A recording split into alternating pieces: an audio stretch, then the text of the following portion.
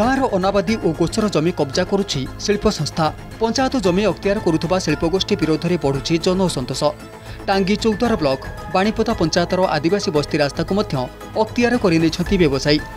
ଗାଁର ଖେଳ ପଡ଼ିଆ ଏମିତିକି ମଶାଣି ଜମି ଉପରେ ମଧ୍ୟ ପଡ଼ିଛି ଅସାଧୁ ବ୍ୟବସାୟୀଙ୍କ ନଜର।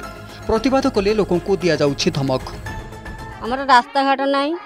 ଆମକୁ ବିରୋଧ କଲେ ପୁଲିସ ଧମକ ଦେଇଛନ୍ତି। କହିଲେ ଯେ ତମେକୁ ଆମ ଥାନାରେ ପୁରେଇବୁ କେସ୍ ଖାଇବ କିନ୍ତୁ ଫାଇଦା କିଛି ମିଳିବନି। ତାପରେ ଆମେ କହିଲୁ ଆମେ କେସ୍ ଖାଇଲେ ଖାଇବୁ କିନ୍ତୁ ଆମେ ରାସ୍ତା ଆମ ଦରକାର। ଏତିକି କହିକିନି ତାପରେ ଆମକୁ ତଡ଼ିଦେଲେ ଆମେ ସେଠୁ ଘରକୁ ସମସ୍ତେ ଆସିଲୁ। ଆମେ ଯଦି ରାସ୍ତା ନଦେବେ ଆମେ ବସିବୁ ଯାଇ କମ୍ପାନୀରେ ଆଉ ଆନ୍ଦୋଳନ କରିକି ଆଉ। ବନ୍ଦ କରିଛନ୍ତି ଆଉ ତାଙ୍କ ରାଜ ଚାଲିଛି ଆମେ କ'ଣ କରିବୁ? ଆମ ଗରିବ ଲୋକକୁ କ'ଣ କରିପାରିବୁ ରାସ୍ତାଟା ଆଗରୁ କାହାର ଥିଲା? ଆଗରୁ ଆମର ଜେଜେବାପା ଅମଳରୁ ସେ ରାସ୍ତା ଆମର ଅଛି। ପୁରୁଣା ରାସ୍ତା।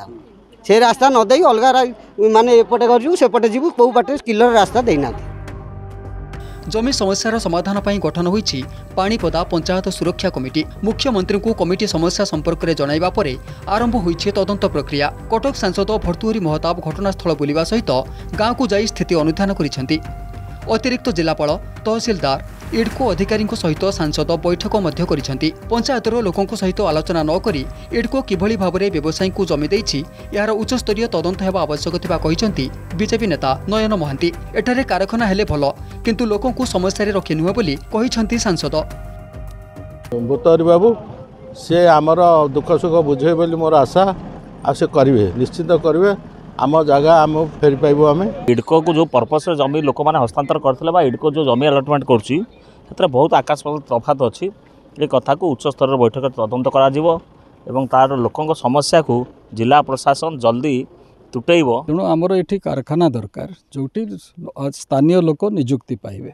ତାକୁ ମଧ୍ୟ ଅଗ୍ରାଧିକାର ଦେଇକି ଏ କାର୍ଯ୍ୟକ୍ରମ ଆଗକୁ ବଢ଼େଇବା। ନୂଆ ସରକାର ଆସିଛନ୍ତି ଏବଂ ନୂଆ ସରକାରରେ ପ୍ରଥ- ପ୍ରାଥମିକ ଦାୟିତ୍ୱ ହେଉଛି ଜମି ହେଉଛି ଆମର। ଏବଂ ଏ ଜମି କିଭଳି ଭାବରେ ବିନିଯୋଗ ହେବ ଲୋକଙ୍କର ପରାମର୍ଶ କ୍ରମେ ସେ କାର୍ଯ୍ୟକ୍ରମ ଆଗକୁ ବଢ଼ିବ ପଞ୍ଚାୟତ ଜମିରେ ବେଆଇନ ନିର୍ମାଣ ଉପରେ ରୋକ ଲଗାଇବାକୁ ଦାବି କରିଛନ୍ତି ଅଞ୍ଚଳବାସୀ। ଏହା ସହିତ ସମ୍ପୃକ୍ତ ଅସାଧୁ ବ୍ୟବସାୟୀଙ୍କ ବିରୋଧରେ କାର୍ଯ୍ୟାନୁଷ୍ଠାନ ଦାବି ଜୋର ଧରିଛି। ଚୌଦ୍ୱାରୁ ଅଜିତ କୁମାର ସ୍ୱାଇଁଙ୍କ ରିପୋର୍ଟ ଅର୍ଗସ୍ ନ୍ୟୁଜ୍।